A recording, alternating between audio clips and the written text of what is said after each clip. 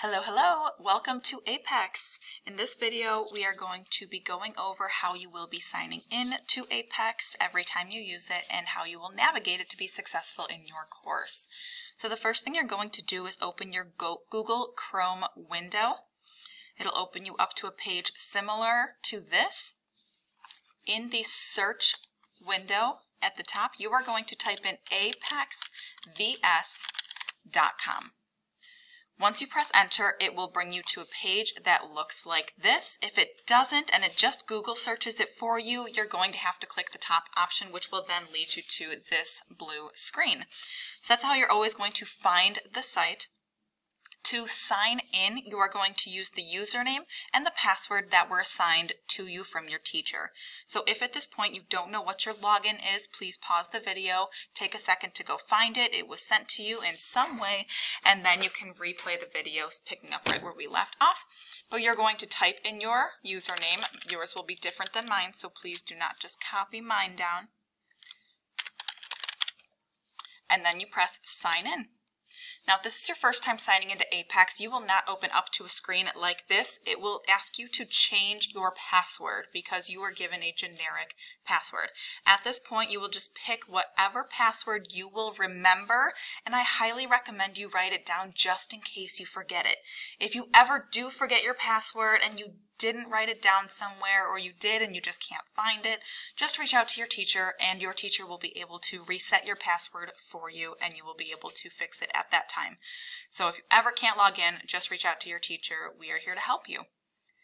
Okay, now at this point, once you've updated that password, you're looking at a list of courses or maybe even just one course.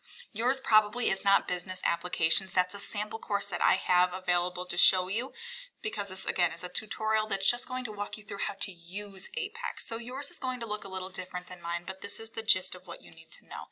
So underneath your courses, just open up one of the courses and it'll take you to a page that looks like so. Again, yours will be a little bit different than mine. At the top, you'll see all of the units, Unit 1, Unit 2, and so on and so on. In every single unit, you'll see that there are a certain amount of assignments. I have finished five of those in this sample unit just to show you what it would look like. And you can see in each unit what material is going to be taught throughout those units.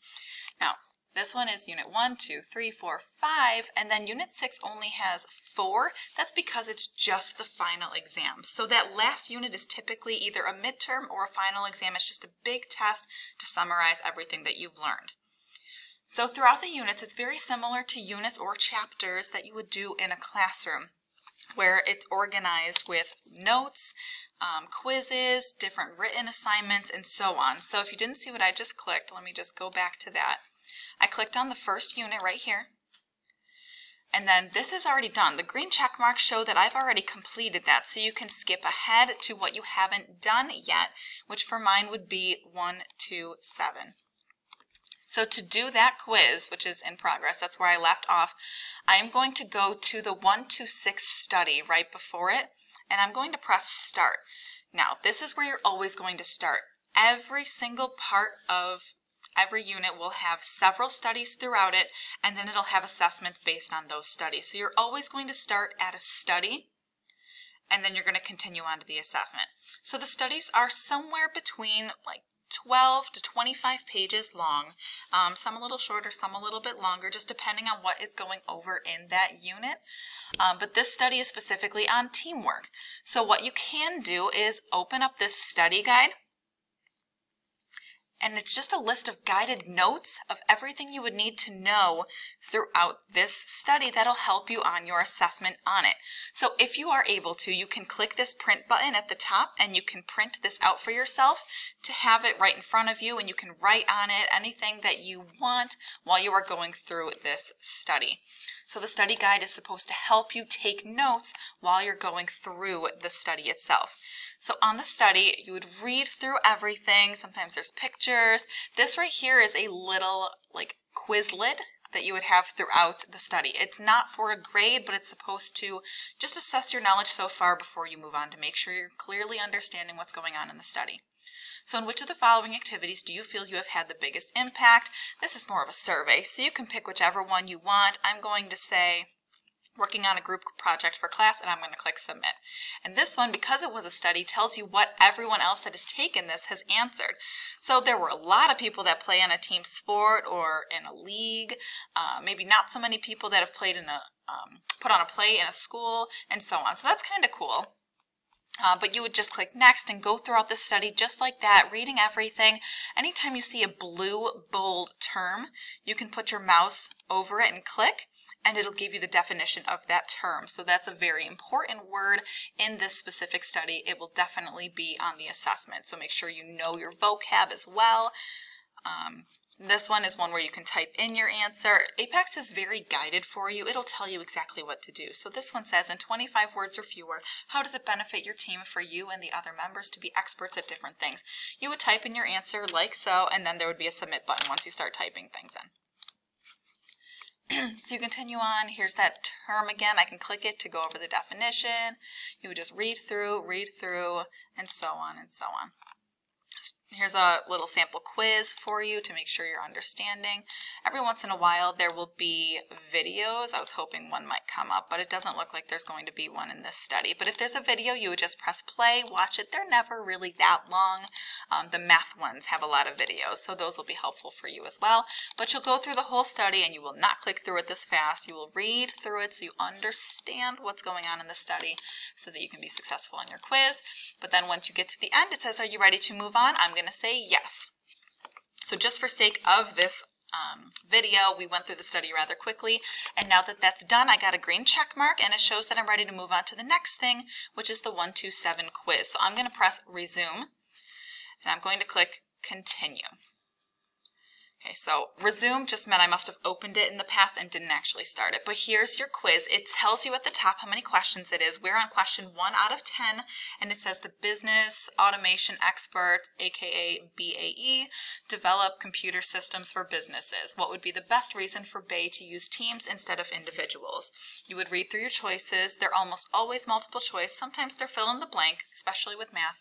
Um, but you would pick your answer. For sake of time, I'm just going to click C, and I got it right.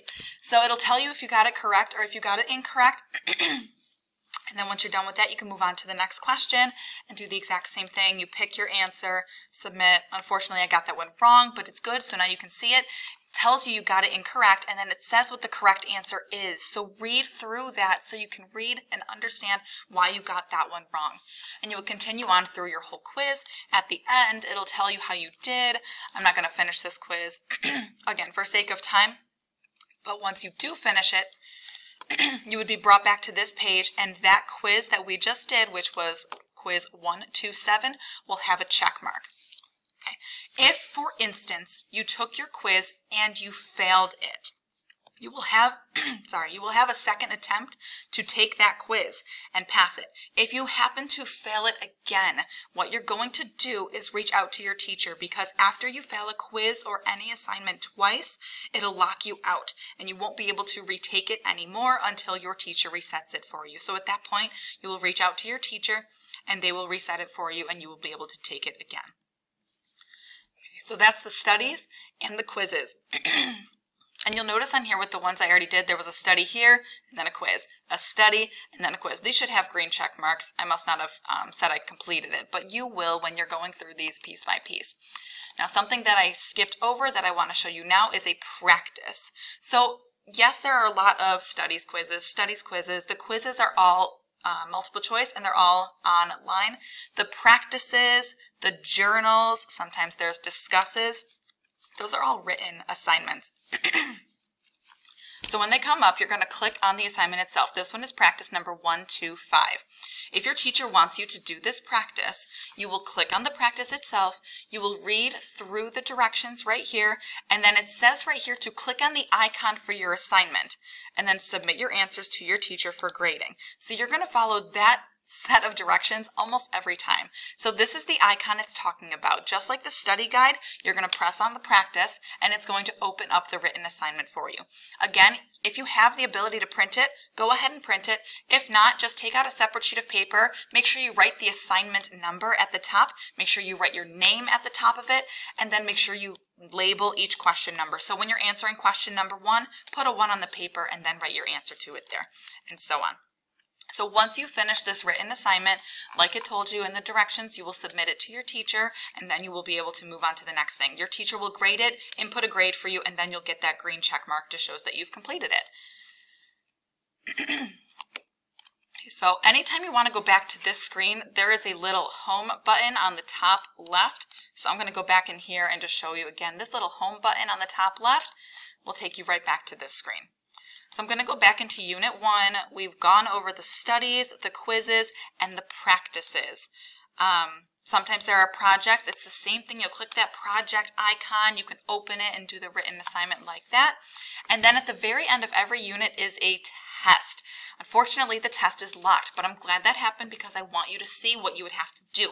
If you have this locked icon for the test, you're going to have to reach out to your teacher to have her unlock it for you. She just wants to, or your teacher just wants to know when you are taking that test, so that's why you have to reach out to them when you are ready to take it.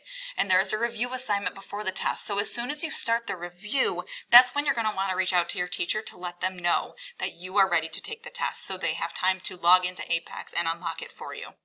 Okay, if you want to review with your teacher, just reach out and ask them. Again, we are here to help you. We are a team in this and we are going to get you through it. Okay, once you finish that test, you'll be able to move on to the next unit once you get that green check mark there. So the CST is the computer test. Um, it'll be graded for you. It's multiple choice, just like the quiz was. It's just a little bit longer because it's on the whole unit. So you had many quizzes throughout the whole unit, and then it'll end with a test at the end. Um, so to check your grades throughout everything, what you can do is click on, whoops, trying to get back to the home home screen.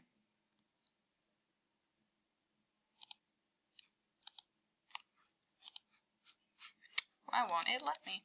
So if you can't go back to the like main screen for mine, usually there's a button up here that allows you to do it. You can just go back and type in Apex again. I'm going to have to log in again.